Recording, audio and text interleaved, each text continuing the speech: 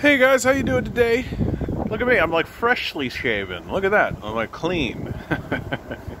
uh, just got off work, just gonna head home. Nice relaxing day. Getting colder, had to whip out the winter jacket this time. Look at me, I'm in my winter gear, it's happening. Soon I'll, I'll have to be doing full scarves and things and I'll be like this the whole time I'm talking to you, it'll be happening. The, uh, um, so Ward Smith, who's been one of, uh, uh, who's been a follower of mine for a little while now, uh, has always been very kind to me, very nice. Uh, uh, thanks, Ward. He asked a question that I think is worth talking about. Um, what do I think is the role of entrepreneurs uh, and project managers in a non-capitalist society? Okay, well, let's break down what it looks like in a capitalist society and then let's break down what I think it should look like um, in a non-capitalist society, okay? So the way it works now is that for an entrepreneur, so somebody who has an idea, right? And let's just pretend like it's the ideal situation. So I have a new idea. I'm an entrepreneur, right? I, am throwing a ball against the wall, trying to uh, put something together, uh, whether it be a business or an invention or some kind of thing like that. I've got a plan, I've got an idea, and I'm gonna move forward with it. Uh, what do I need? Capital. That's what I need. Um, well, what do you actually need, right? You need uh, probably an office, right? Probably a place to actually do the work. Um, maybe you need a storefront, right? Maybe you just need a storage area, right? Uh, maybe, uh, uh but you definitely need capital to buy the goods, right? If you're an inventor, okay? So let's just say capital. That's what you need. You need money. So, you got the money. so, you've got to convince an investor, right? Somebody, uh, uh, uh, a person who has capital, a capitalist. You need to convince someone who has capital that what you're doing is a good idea. Uh, now, the here's where the tension actually happens because you don't have to answer to anything in a capitalist society except the, the question uh, will it be profitable? Will it make money? It doesn't matter what it is, it doesn't matter if it's good or if it's bad. There's no questions of uh, moral consideration, there's no questions of ethics or anything like this. It's just will it make money? So, if you are I don't know, this is just off the top of my head, so I'm going to create a really bad example, but it's it's uh, you'll get what I'm talking about. If you are uh, if your business is going to the state over and killing all their wolves and deer and everything to get their fur so that you can sell it in your state um, well, that's great for you and for the people you're selling to because they don't have to deal with the consequences or the negative aspect of what your business model is, right? You're going into another region, destroying the ecosystem and destroying the environment of a group of people uh, who were, were never going to be the buyers or the beneficiaries of your business model in the first place. Uh, and to do it, you just needed enough capital to uh, bribe local leadership, right, which is common, and uh, and to set up the business and all of that. And so, forget about the people, forget about the suffering that you're creating, forget about the destruction that you're creating. Uh, it's going to make money, and it is going to make money, right? It's going to make good money because the people who are buying the product are not inflicted with the suffering that the business creates. This is common in capitalism. Like, this is a common and regular occurrence in capitalism that capitalism uh, creates suffering for workers or for people who are exploited or for people who live in regions where there are like toxic waste dumps and slums uh, or carcinogens in the air, things like this. Um, but they don't care about that. Those people are poor. Who cares about them? Right? They've been abandoned. They've been thrown out of the system. So, forget about them. What matters are the buyers, and of course the capitalists. They want their money. And that's how the capitalist system works. So, you can see why I think it's a failure, right?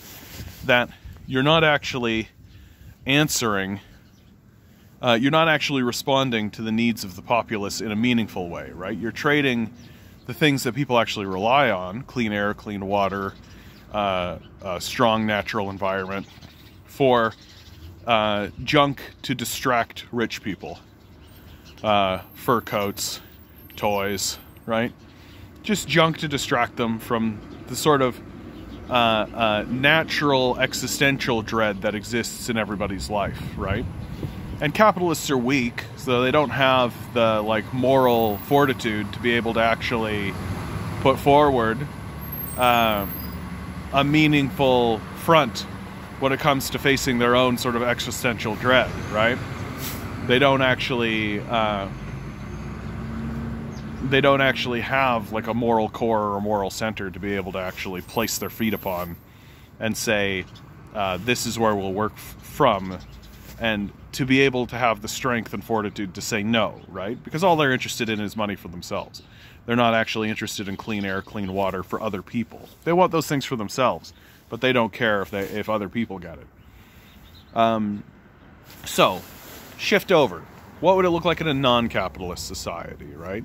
Uh, whatever you want to call that a socialist society a communist society whatever you want to call it. Uh, so first and foremost like there's a there's a big question uh, I'll skip over this. There there is a big question about like, well, will your society use money or not? I generally believe that money gets used no matter what you do, right? That you can't actually get rid of the money. Uh, if you try, it'll just show up some other way there will be some kind of common currency that exists. It it, it will occur, and uh, like you'd have an you'd have just an easy a time trying to get rid of writing, right? Like it, would be just the same thing. Like uh, uh, you can abolish writing all you want and punish people for writing all you want, and it's gonna survive because it's in us. It's built in us, right? We we have it. It's not something that we're going to not do. Uh, and I think money works in that kind of same way the difference is uh, uh, between a capitalist society and a non-capitalist society, as I talked about in my last video, so I won't belabor this point, which is uh, in a non-capitalist society, we won't worship money. Money won't be the way that we uh, dictate ourselves morally.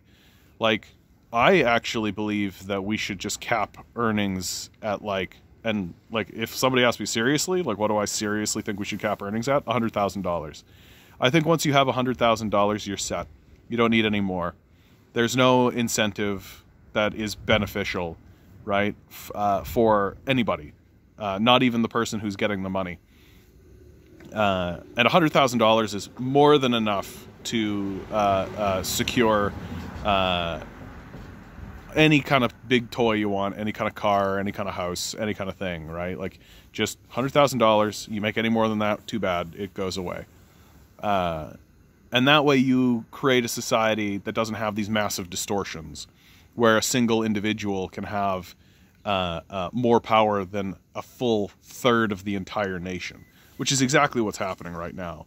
Right, the wealthiest billionaires, like the top ten billionaires. Let me get this number completely right I believe it's the top 10 billionaires right now have the same amount of wealth as the bottom third of the nation.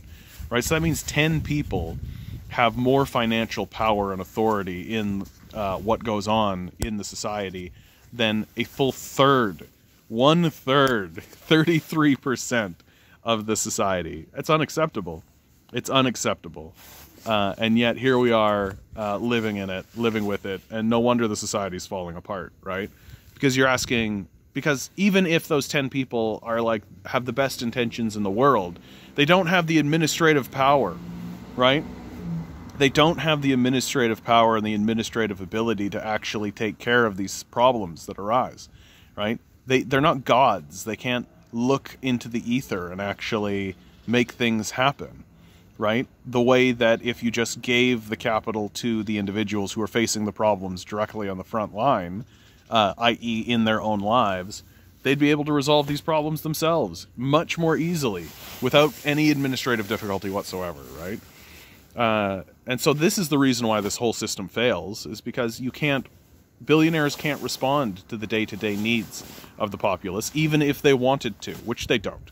But even if they wanted to they couldn't. Uh, okay so getting back to the question at hand. Let's say we've got money okay so there's money. Let's say there's a reasonable cap on how much money people can have right? Uh, but people still want to create stuff, right? They still want to do stuff. They still want to be a part of a community. They still want to be involved in stuff. Like, I was in the theater for 15 years, guys. I can tell you pretty straightforwardly people want to be involved in big projects. They want to do things. They want to entertain people. They want to help people. They do. They want to do this. Uh, if they didn't, then why are people throwing their lives against this, like the, the the arts? What what is that? You're telling me that if if if monetary gain is the only thing that incentivizes people, just spend a week talking to actors and writers and directors at your local theaters. You'll find out pretty quickly like these people are not doing this for the money, right? They're not doing it for the money. Are you crazy? I mean, obviously, if you're a capitalist or a defender of capitalism, you are a bit insane, but fine. Like there there are deep incentives that live within us that go well beyond the monetary gain. And so, how would we structure this? How would we structure it so that I've got an idea, I'm an entrepreneur, right? Like, I want, I need to talk to somebody about getting capital together. Well, the, the problem with our current system, right, is that it's not in the control of the people. It's not in the control of the populace. So I'm not saying that we shouldn't have banks but I am saying that the bank should be owned by the public and respond to the needs and demands of the public, right? Like, whoever thinks that private banks are a good idea, like, that's nuts.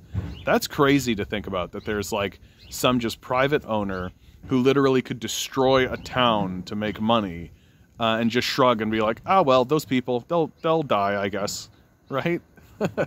Whereas a publicly owned bank would probably be like, uh, no, like that would be a massive, colossal disaster for the people living there. And fundamentally and ultimately, like, we've gotten so used to having this kind of faux democratic process that we don't really want to think about what an actual democratic process would look like. Like here in Toronto, like I have a city councilor, but they take care of 200,000 people. That's way too many people, man. Like we need to have like representatives for every thousand people. Like we need to that's how like that's the scale that I'm talking about, right? Like we need to we need to include layers of democratic organization within the process to allow decisions to be made like uh, uh, there's there there's perpetually empty spaces on the street here, right? So if you're an entrepreneur and you just want to open up a business, right? Well, how do you get how do you get that space? Well, you just ask the people who live in the community, right? Right now we don't have the system in place to do that because uh, capitalists don't want people to be able to organize democratically. Are you kidding me? But if if we had people, like if we had a representative that dealt with literally this block, right? If that was their job, was to deal with this block right here, uh, and to deal with the problems that came up, and to organize and to and to have things structured.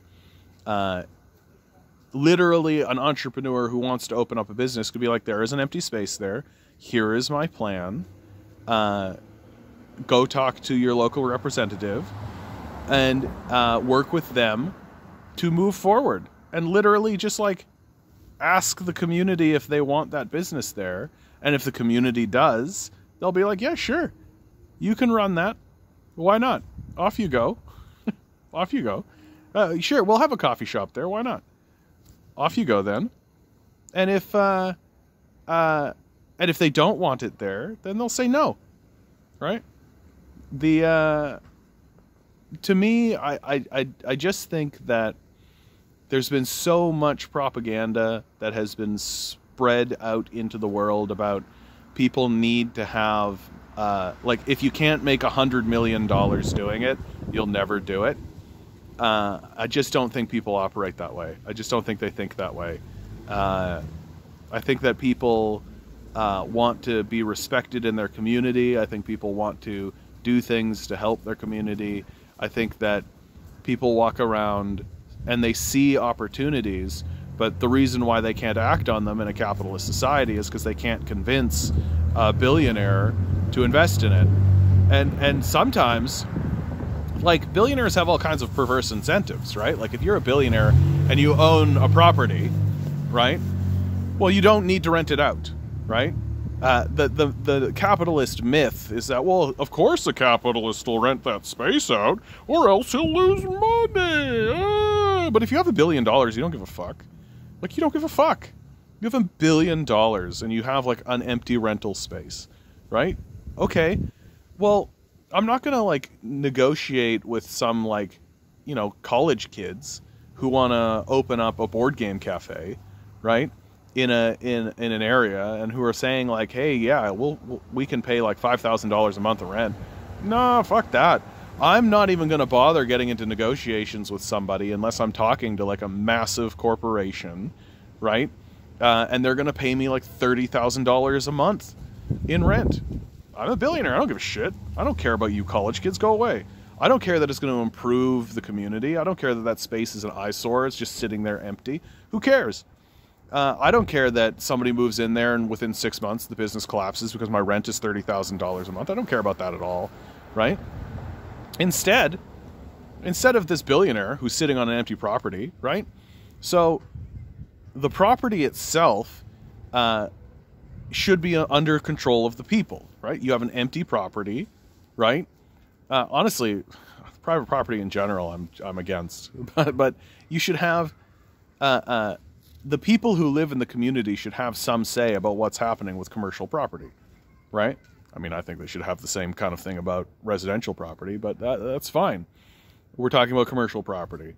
So, commercial property should be under control of the people, and people should ask permission to their representatives, who should represent a much smaller portion of the populace than they do right now, right? And the people themselves, uh, who then move in to the space, right, after they get permission from the community, right, which I think is completely rational to ask permission from the community if they even want this to be here. I mean, I feel like that's actually so much nicer, right? Like so many people move in to business spaces uh, because they got the capital and they convinced some business owner, or some capitalist or something like this. Uh, so they convinced one or two people uh, that what they've got is a good idea, but they never ask the populace, so they're just guessing. They're just sort of hoping. There's they got a if you build it, they will come sort of attitude. Whereas if you actually like go to a town hall meeting, you put on the agenda, hey, I'm John Sanderson. I'd like to open a board game cafe in this space that is currently empty.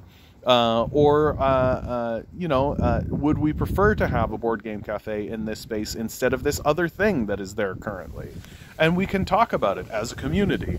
And because the representatives are, it's not, instead of it being 200,000 people, one person has jurisdiction over, it'll be like a thousand or 2,000 people they have jurisdiction over because it's just one block and they all talk about it and they and, and, and they uh, uh, get to it. Maybe the representative goes and talks to the representative of the next neighbor over and says like hey we're thinking of putting this in this space. What do you guys think? And if they're like oh yeah that's great. We love that. Uh, or if they have like concerns or anything like that they can talk about it uh, and maybe bring it up to the next representative right? And if this sounds like an involved process yeah caring about each other is an involved process it's an involved process to give a shit about one another okay if you don't give a shit about one another then you deal with the consequences of that which is you having a billionaire stomp on your face. Uh, uh, so the entrepreneur, right? So let's say the, pe- the, the people are like, yeah, we love that idea. That's great. Move into that space. So the people move into that space, and then ostensibly, the people who are running whatever enterprise is in that space, I've been saying board game cafe a lot, so let's stick with that, will be the beneficiaries of that. They'll be the ones that'll make the money. Why shouldn't they? They're the ones doing the work, right? So, uh, and they'll they'll be the ones that take the shot that that make the shots. They'll be the ones that do it, uh, uh, and they'll do so democratically, right? Instead of it being like an owner who hires wage slaves in order to do it, just everybody who's involved in it gets a share of what's going on in that uh, space. And of course, I think that the shares should be distributed based strictly on time. So if 100 hours get worked and I work 50 of those 100 hours, then I should get 50% of the shares. And if you work 10 hours of that 100 hours, then you should get 10% of the shares. And that really is straightforward how it should look. That our time is what should equal shares. And of course, that formulation would be much more complex, but uh, uh, but ostensibly, it's exactly the idea that like at the end of the year you calculate and tally okay this guy worked this much this guy worked this much this guy worked this much so that means they get this share of whatever. And of course if you want to add like a little bit of stability and you can sort of pepper in uh, a kind of a wage in order to add uh, general stability to that so that you're not you know doing your wage calculation at the end of the year. So you just do a wage and then you do your calculation at the end of the year and you go like okay so you had this wage and then plus this much in terms of your share right and that's the way how I think the whole thing should be organized. You should go to your representative who speaks with the community and you in order to come to an agreement about whether or not that uh, we can move into this space, right? Based on what the community thinks. And then the representative and you work with the publicly owned bank, which is owned by the public, in order to cr- create the capital to get you started, right? To put it forward uh, and then the people who actually run the enterprise are the ones who uh, uh, uh, uh, own the place and make the decisions democratically. And that's what I think it would look like in, in a non capitalist society. That the workers would run the place, negotiating with the elected representatives who would represent a much smaller portion of the society, because not every decision needs to be made on the national or provincial uh, or even municipal level. Like I think the mun- municipalities in this uh, democratic system that we operate on are huge. They're way too big. They're way, way, way, way, way too big. And it's telling that it's conservatives that will keep wanting to make them bigger and bigger, because you know conservative politicians only really negotiate with billionaires. They don't really talk to workers. Like they don't actually care about workers. It's obvious. Uh, so in a non-capitalist society, I'll just state it again as cleanly as I can in a non capitalist society, I have an idea for a business. I would go to my elected representative to have the idea put on the docket for a town hall meeting. We would negotiate, debate with the people themselves who are at the town hall meeting, and everyone's free to come and everyone's free to vote on this. Everyone's free to be involved in this. Uh, uh, if they say no, or if they uh, uh, uh, put forward concerns about what it is, then it gives you the opportunity to address them until eventually, perhaps you give up because I mean, or you move to a different community because you, you, really do want to do this, but the community doesn't want to have it done, uh, or uh, the community says yes, and so then you you with the representative, your elected representative, and with the pow- power of the people behind you, because they say we want to have it in there. You go to the public bank, which is owned by the people, right? And they provide the capital to be able to get you started on on that system. And again, to remind you, money can just be created out of nothing. It just comes out of thin air. That's what we do now, right? That's what the private banks do now. So it's not extreme to say that this is what the public bank will do. It's just instead of it being done for a profit motive, it's being done because everybody wants it to happen. Because everybody wants it, right? You went to the people, you asked them, they said yes. Uh, everybody wants it. You move into the space, right? And of course, it's going to be filled with nonsense. Of course, there's going to be debating and back and forth and hemming and hawing and all that kind of stuff, right? But uh, uh, people won't be able to just override the will of the populace. You won't you if I walked up to the populace and said, "Hey, I've got this great industry idea, but it's going to dump a bunch of toxic waste into the river," people say no. right? People say no instead of what happens now, which is, "Well, I'm dumping all this toxic waste in the river, but my billionaire lives in the next state over, so he doesn't care." Right? Like, uh, uh, anyway, Ward, I hope that that's something of an answer for what you're talking about. That's mainly entrepreneurs, uh, project managers. Oh, so project managers, very briefly. I mean, uh, uh, so let's say you get into the space, right? And you're organizing your people that you're working with. Well, the people are going to pick their project manager, right? They're going to elect their their their project manager. They're going to say, uh, uh, okay, so uh, we'll we'll we'll be the front of house people. You be the back house person, and and Joe, you'll be the project manager, right? And maybe Joe and Steve put their name forward for project manager, and everybody goes, you know what, we're gonna pick Joe for this. And then maybe in a year's time, people go like, you know, Joe, yeah, just think maybe we'll give Steve a shot, right? Or maybe they could just both do it for Christ's sakes, right? If they both want to be involved in it. It just it just seems to me that a lot of the organization could and should be happening democratically that people should be more invested and should be uh, uh, able to talk about this kind of stuff. And and before we go like, whoa, everybody discussing everyone, so what's? I'm essentially describing a co-op system, right? It's it, it's not that big a deal. It's happened all over, right? Co-ops exist everywhere. We just haven't accepted that it's a superior model and that we need to banish the capitalist system completely. Uh, yeah. Anyway, I think that's going to be the end of me, guys. I think I'm going to go get some food. I hope you're all having fun time out there at Ward. I hope that answered your question at all. Like, share, subscribe, send it around, do all the stuff. I'm almost at 70 subscribers, guys. Come on. Get just just get one of your random friends to subscribe. They don't even need to watch my stuff. anyway, guys, I love you all. Have fun out there, okay?